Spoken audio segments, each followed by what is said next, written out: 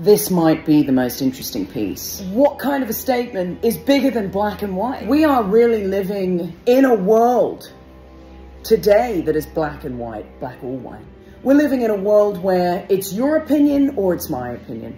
And that's it. Actually, your opinion doesn't exist. It's only my opinion. Or, how about this?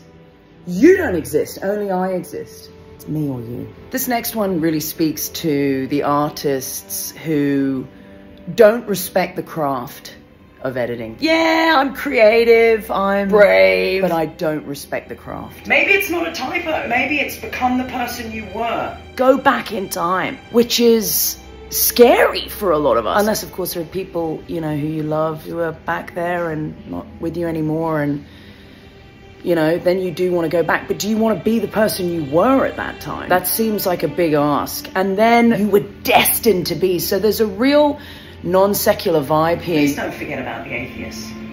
People get to a point of atheism for whatever reasons, or they're born that way. They've just realized nature is their church. Millions, maybe even billions. I'd say at least one out of seven of the billion people living today are atheists. They don't want to be told they're destined for anything. And you've got the secret atheists who go to church, but deep down know none of it's, or not know, excuse me, deep down think none of it's real you know. Sorry, I don't mean to offend because I know that can start wars. All right, let me show you the pièce de résistance here. It's at the front door. This is the front door vestibule. You walk in, you know, oh, we're on holiday in Montreal, and you're confronted with this.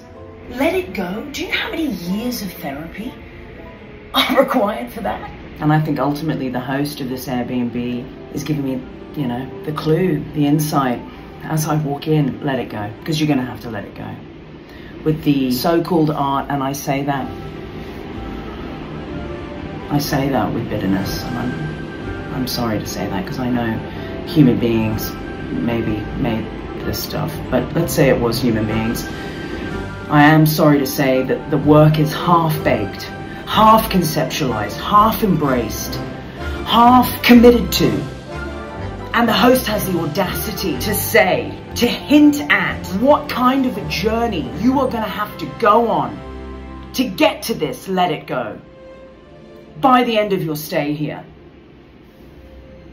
Is actually now. I am leaving.